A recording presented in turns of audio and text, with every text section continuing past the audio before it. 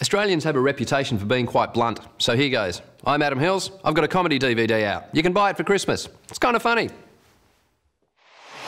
Australians, Australians walk like our economy. Fairly strong, looking up, could go anywhere.